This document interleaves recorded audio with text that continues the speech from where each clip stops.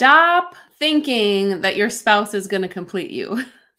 That's what we're talking about today because it's a big thing, right? I think like a lot of people go into marriage with that expectation and then disappointment sets in. So, we're going to talk about that today.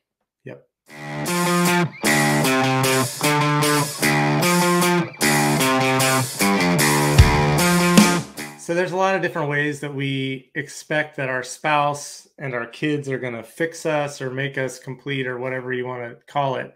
And so we're going to talk about some of that today. Um, we're going to talk about struggles with self worth that you think they're going to fix, or um, maybe hurts from your past, or holes left from relationships of your past and growing up, um, sin struggles you had before we get married, you know, that they're still there. And then um, what our expectations are based on what we've seen, whether it's our own parents, our books we've read, movies, social media, all of that stuff that we let go into our brains and give us expectations. Right. Because what do we do? We watch the romantic comedies, the rom-coms, or the, you know, we we watch as they like they wake up next to each other and she opens her eyes and he's watching her and saying like i just love watching you when you're sleeping. And it's like like that's creepy. But you know we think all this stuff's going on and it's totally ruining our perspective. Just you know. Right. So i'm a guy so i'm going to talk about the guy's side a little bit here for a minute. Um and really men's biggest fear in life is kind of failure or john eldredge would say it's not having what it takes. So we want our wives to take care of that for us. We want them to make us validated like we're the man and now we feel it because we're married and so that should make us feel manly. But that's not what she's for. Like she's not wired to fill that need for us. And so most of the time they don't even know that that question is going on and that we're looking to them for that. And so they can't really take care of something that they're not even aware of or know how to take care of. So when we take those questions of our fears and our self confidence and our lack of validation as a man to them, it's going to fall short pretty much every time. So that's just not going to help. It's all our desires and struggles aren't going to be solved by her. So. Well, and like he said, like I don't know that he needs that validation, right? We think like, oh, they're they're confident, like they don't need me to tell them like good job or that was you're awesome or you know like you're so manly like we don't know that and so you know it can it can be that um unmet need that we don't even realize is there too true so I guess really what we need to do as men is like find that within ourselves and with God so that we don't have to put that on them and make them try to fill that need. Mm-hmm. So. And as far as the women go, I mean, I'm I can only speak for myself, I guess, but I kind of feel like across the board that women I feel like women come into the relationship with more of that expectation, like this is going to complete me. I don't know. Maybe I'm wrong. I did put, um, I did put that question on my Facebook post just today. I said, "Do do you think women or men go into marriage thinking that it'll complete them more?" And I I think women.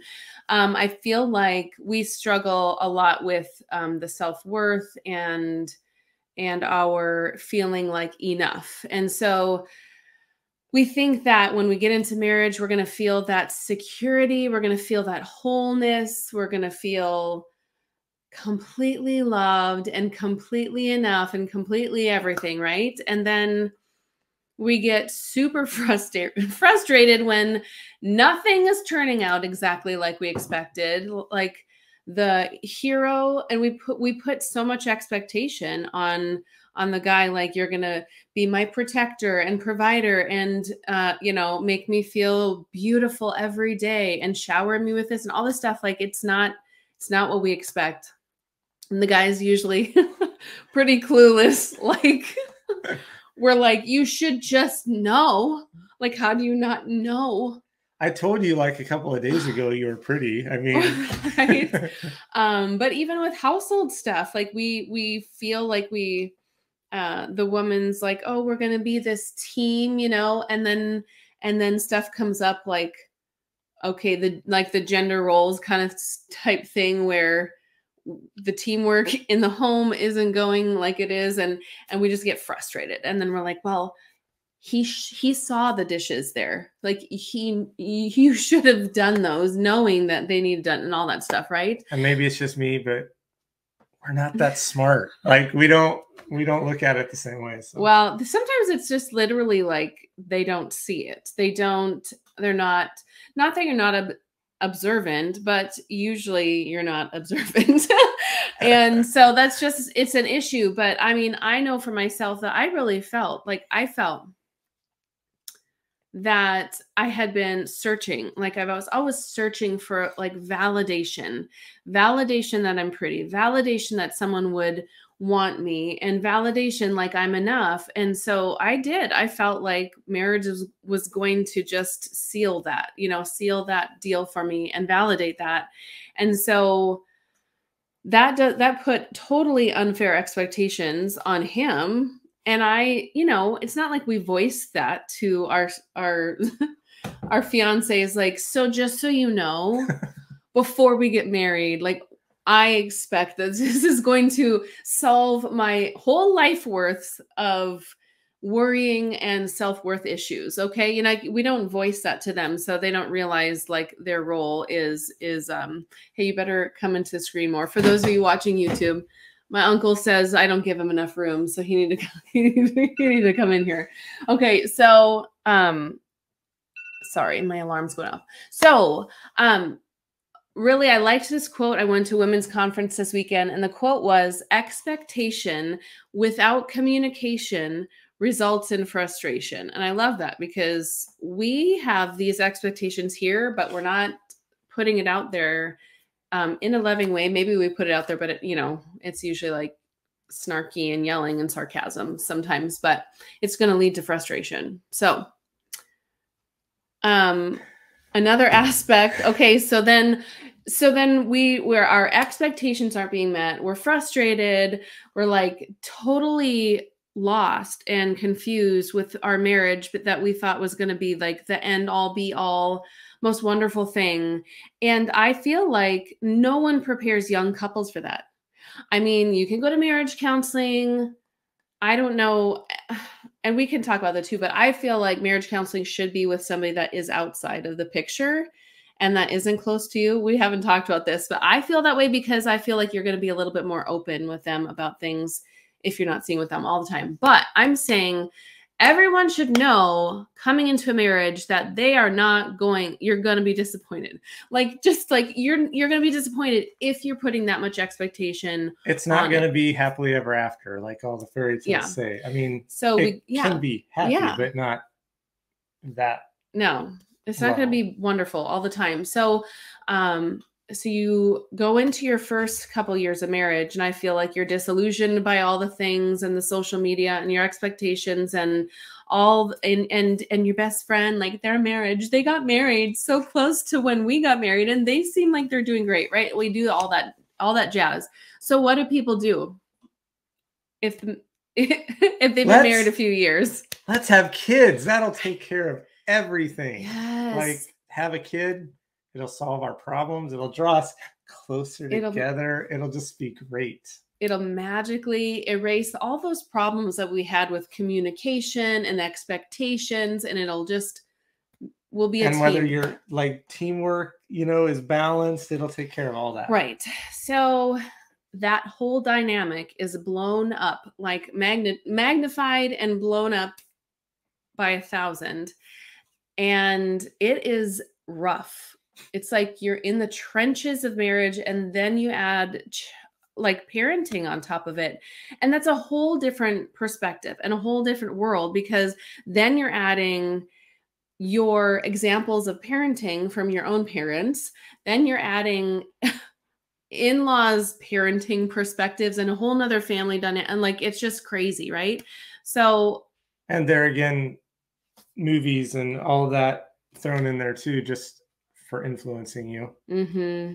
Yeah. So then the the patterns keep spiraling. I feel like with the frustration and disappointment and miscommunication and um, unmet unmet expectations and so in the time that you are raising your next generation your next uh, you know you're building your legacy and and your family and it was rough for us i feel and we also worked opposite shifts because of of work schedules so it's just like we were going through hard parts of life and we were kind of doing it separately because we wouldn't see each other a lot of the times. A lot of times we'd wave at each other on the highway. Yeah. As we're coming. And so then, you know, less communication and all these all these things were like building and building and building. And, and then, then you throw in lack of sleep, kids crying and you don't know why, all of those stressors on top of everything else. So so again, and continuing to want that marriage and want that spouse to to be that fill all. that need and fill that void. So, what's the reality? Reality is that nobody, no, no one or thing on this earth is ever, ever going to fill that void for you and satisfy you and help you feel whole and help you feel complete. That can only be God. That can only be God in your life and a strong relationship with Him. Uh, we were created for that desire. We were created for that completeness and that wholeness and that feeling, but it's with a relationship with God. And all of those questions of worth and identity and everything of that nature can only be answered in Him as well. Right. And if you think about when the first man and woman were created, they were in close communion with God they walked with him in the garden and talked with him and we still want that that's in us that we want that but it was broken and so that's what we have to work to get back to right so god alone can love us perfectly and unconditionally and so we wanted to share a few verses that kind of just talk about that so psalm 145 16 says you open your hand, which is God. God opens his hands and satisfies the desires of every living thing. Psalm 107, verses 8 and 9 says, Let them give thanks to the Lord for his loving kindness and for his wonders to the sons of men. For he has satisfied the thirsty soul, and the hungry soul he has filled with what is good. And then First Timothy 6 6 says, But godliness with contentment is great gain. And it's just, it's that picture of, okay, yes, life is going to be like you can find that contentment and that wholeness in God, but it's not like it's going to make all your troubles go away, but it's going to bring that contentment and that joy that like through it all it's fine. Like he's got you and you're you're grounded in him because ultimately we need to stop looking looking to our spouse to meet those needs for us and stop holding that responsibility over their head and being bitter about it when it doesn't turn out that way because i feel and i know i had i had a lot of bitterness and that doesn't sit well and that doesn't go well and when you start having bitterness and anger and miscommunication all those things you're going to always be looking outside of the home then whether that's in work relationships and you're spending more time with them like you know it just starts that trail of looking for elsewhere outside of your home. Um, but when you have that shift in perspective and expectations your relationship will definitely take on a new feel if you're not holding that over their heads and yeah and i think it's important to realize too is no matter how many things you think you have fixed in your spouse there's always going to be mm-hmm. more and there's more things that they want to fix in you as well so we need to kind of keep that perspective and know that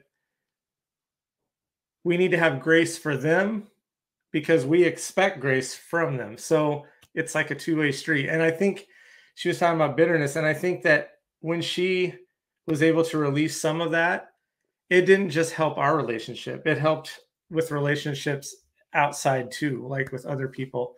And I think I've done the same. I mean, I've held things against her that, you know, she may not even know because I'm a stuffer instead of a blurter. So, but I'm the blurter. Once once that stuff gets released, it just makes things better. Yeah. Like way better. So So thanks for listening. yes, thank you. Um, just a little perspective on that topic. And then if you guys would do us a favor of sharing this to somebody you think would like it, we would love to just keep growing our family of uh, followers and just, you know, click the share, follow and share, and we'll keep going with this. So see you guys next week.